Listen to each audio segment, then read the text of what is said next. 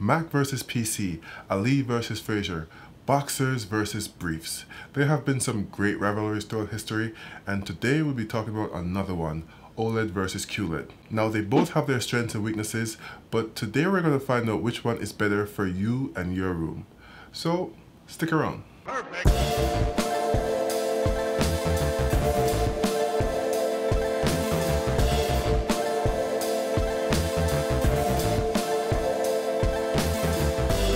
Hey guys, it's the Villaman here, home theater enthusiast and all around tech lover. Now, if you've been here before, then welcome back.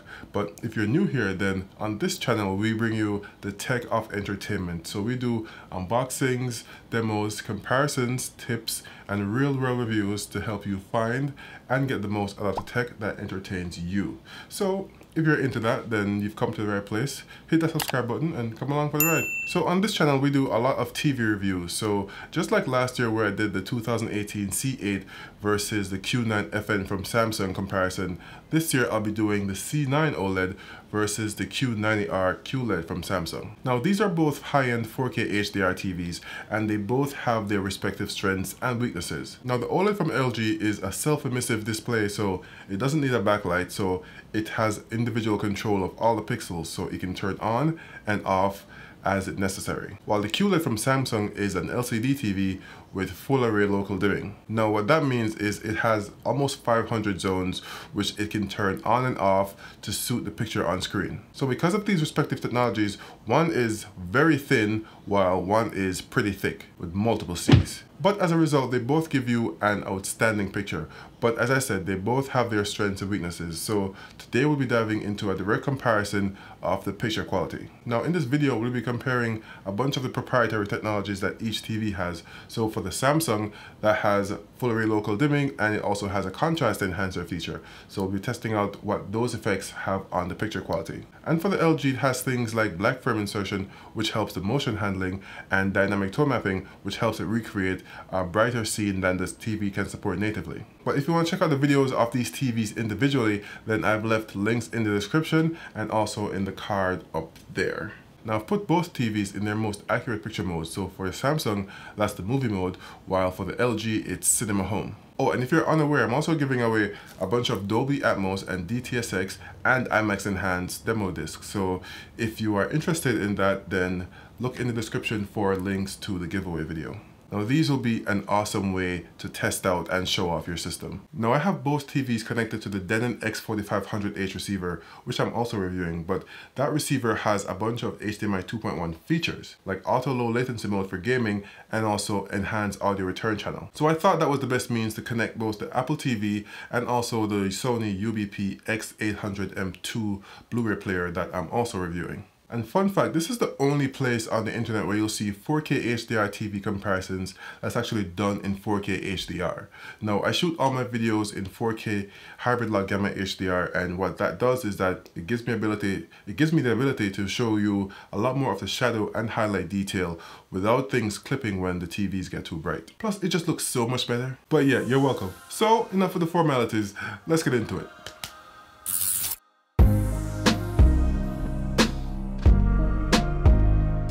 So first up, I'll be showing you some scenes on both TVs at their best picture settings. Now both TVs are 65 inches, the LG C9 OLED up top and the Samsung Q90R QLED on the bottom. There's some slight differences in the picture temperature, but that can be altered to suit your preference. Off-axis viewing is not a problem for either of these televisions. Samsung has made some great strides with their panels where now if you sit off-axis, you will still have a great picture. It's also worth noting that the highlight detail that you see or don't see in the video is actually pretty representational of what I see in person.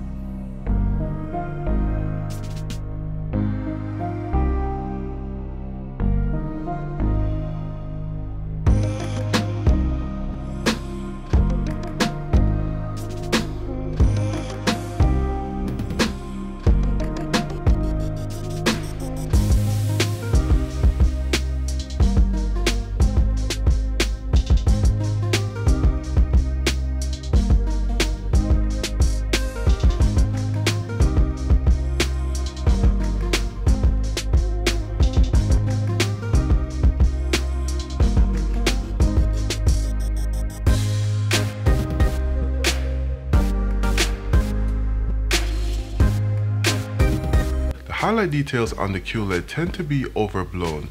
If you take this scene for example, the clouds in the scene lack the detail that the LG has. If you look at the clouds in the OLED, you can see that there's a lot more definition in the clouds.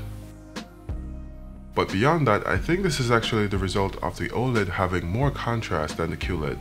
Darks seem darker and the colors just pop that much more.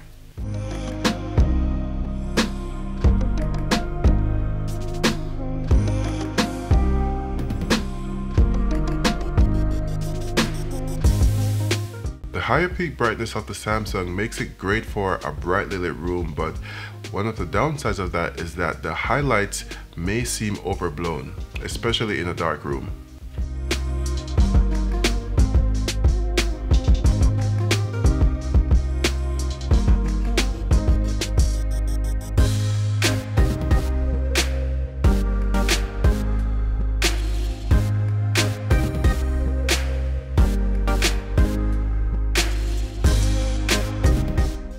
Let's look at the effect that dynamic tone mapping has on the picture of the LG using a dark scene.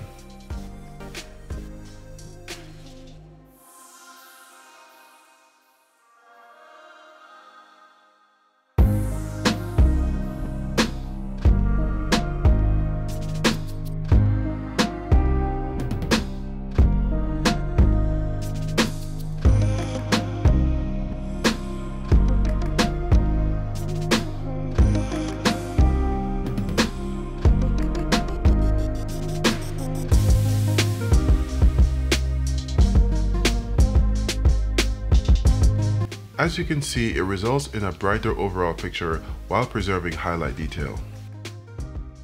And if we look at the picture with dynamic tone mapping on and off side by side, then we can see even better evidence of that.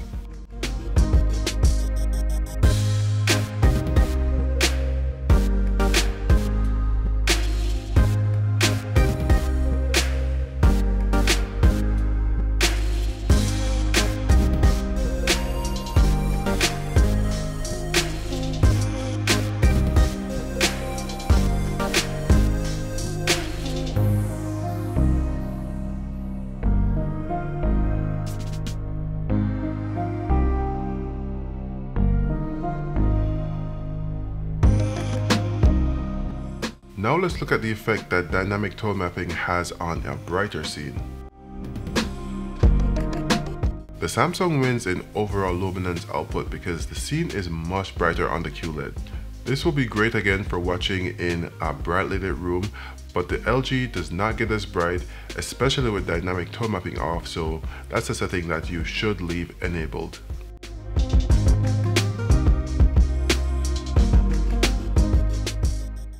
Again, here's a look at the highlight detail differences between the two. Both TVs have their brightness at the midway point by the way.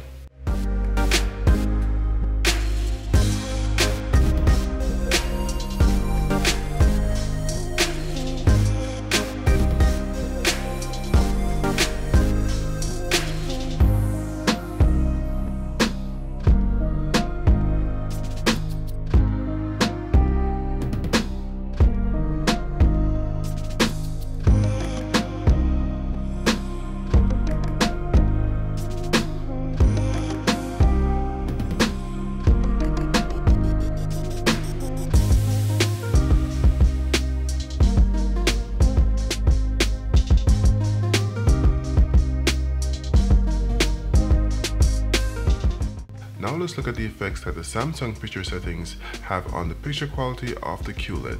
We'll be testing what effect the contrast enhancer and local dimming settings have on the picture quality.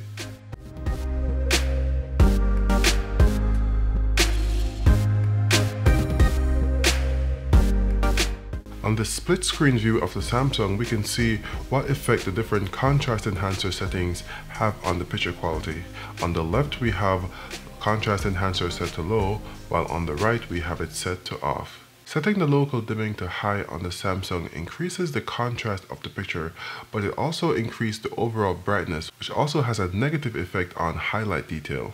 So you trade contrast for highlight detail, or vice versa, trading highlight detail for contrast. but I found that setting the local dimming to high and contrast enhancer to either off or low has the best effect on the picture. With local dimming set to high and contrast enhancer set to off, then we can see where the picture has contrast almost approaching the OLED, but it has a much higher overall brightness.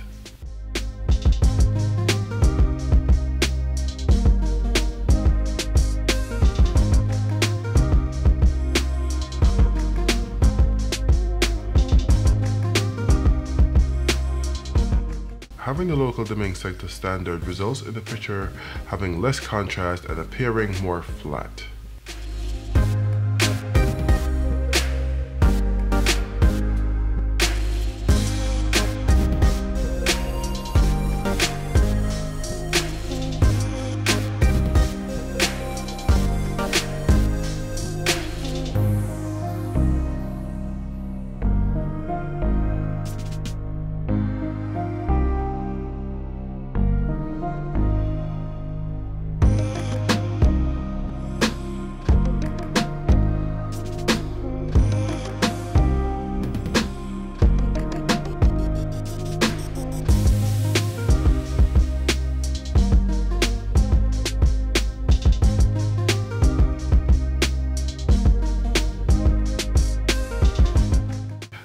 Let's see how both of these TVs handle a colorful HDR movie like Spider-Man Into the Spider-Verse. They both actually have a very nice picture. The only real differences again are differences in overall brightness and some slight differences in the color palette, which wouldn't even be an issue if this was not a direct comparison. A live action movie like Mission Impossible Fallout on the other hand benefits a lot I think from the increased contrast on the LG. Especially on scenes with dark objects, but brighter scenes and scenes with skin tones I think pop more on the QLED.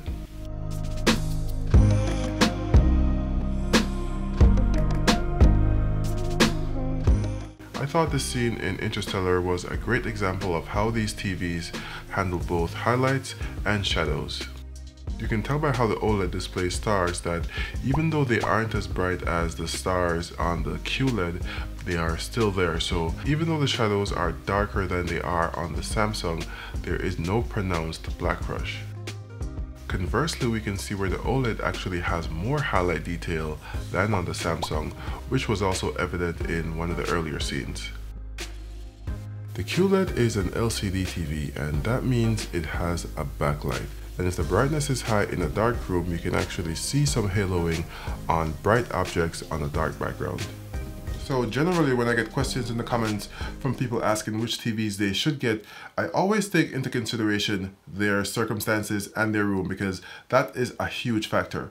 Besides having a technology that you may like or a brand you prefer, they both have their respective strengths and weaknesses as you saw in the video. Now one of the biggest features of the Samsung is this ability to get very bright. So if you have a room that's, that doesn't have as much light control as you'd like, so it's a very bright room with the inability to get very dark, then the QLED will make more sense for you because it performs well in a highly lit environment. It has a higher peak brightness, so that's what it excels at. But the OLED isn't that far behind as you saw in the video. It can also get plenty bright, but what it excels at is actually getting very dark. So if you have a light controlled room, so you can turn off the lights and be engulfed in complete darkness, then that's where the OLED will shine. There'll be no blooming and the contrast will make the picture pop just that much more. But conversely, there are some people who, as unlikely as it may be, are still worried about the chance of burn-in happening on their OLED TVs. Now, I've owned the OLED TV for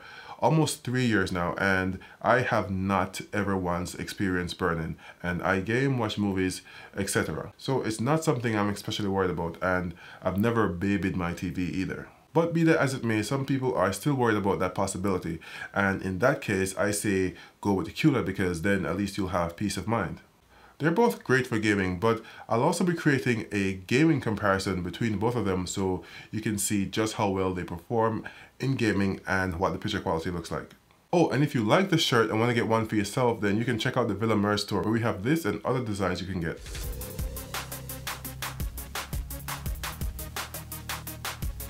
Let me know your thoughts in the comments and which TV you would prefer. Until next time, This has been your friendly neighborhood Villaman saying, peace.